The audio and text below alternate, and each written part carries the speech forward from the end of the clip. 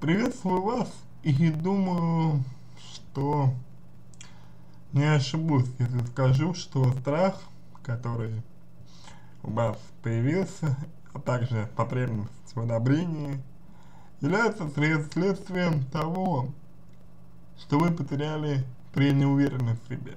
У вас понизилась самооценка, а возможно понизилось чувство собственного достоинства, вероятно, что-то еще.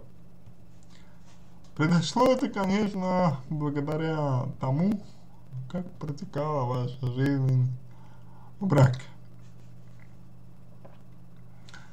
И тут, конечно, нужна более подробная информация об этом, потому что то, что вы пишете, то, что вы описываете, как бы есть до проблем и после проблем. Вы описываете э, следствие проблемы. А вот саму проблему, причину проблемы вы не описываете. Из вашего сообщения понятно, что с мужем вы развелись. Развод это всегда психотравма. Развод это всегда стресс, это удар по человеку, по его привычной жизни.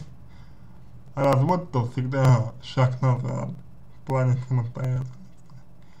И если вы, допустим, были замужем, жили как бы с мужем, э, чувствовали себя хозяйкой, то после того, как, как допустим, у вас произошел разрыв, вы почувствовали, что вы не можете вы не смогли сохранить семью. И это вас подкосило, в том плане, что вы перестали ощущать себя, ну, скажем так, полноценной, способной быть самостоятельной, способной принимать решения. И тут, конечно, нужно разбираться и об обстоятельствах вашего развода, и о том, как вы себя чувствуете, как изменилось ваше восприятие себя и э, восстанавливать самооценку, восстанавливать свое достоинство. Но для начала, полагаю, вы не отпустили отношения с мужем еще до конца, или так и не оправились от того удара, который, который нанесли вам, э, ну, скажем так, может быть, развод, может быть сам процесс бракоразводный, может быть конфликт сам, то есть а, непосредственно суть конфликта. Тем не менее, со всем этим нужно разбираться, потому что а, налицо неуверенность в себе,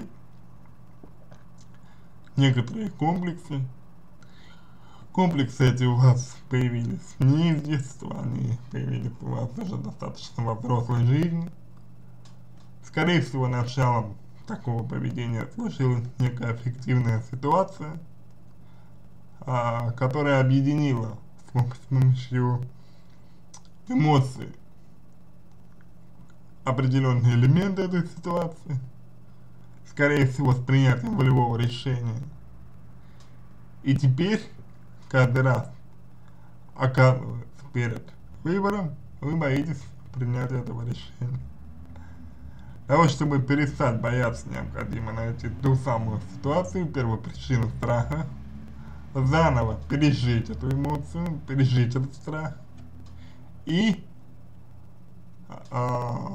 помощью специалиста разбить объединяющий эффект эмоций, которые распространяются на элементов так, чтобы встречающиеся вам эти самые элементы в жизни не объединялись моментально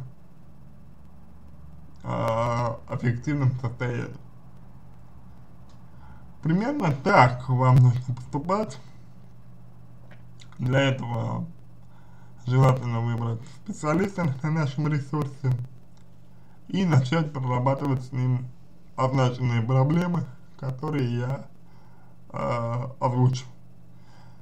На этом все. Надеюсь, что помог вам. Если какие-то вопросы остались, обращайтесь в личку «Помогу». Если вам понравился мой ответ, пожалуйста, сделайте его лучше. Puta, bloqueadaram.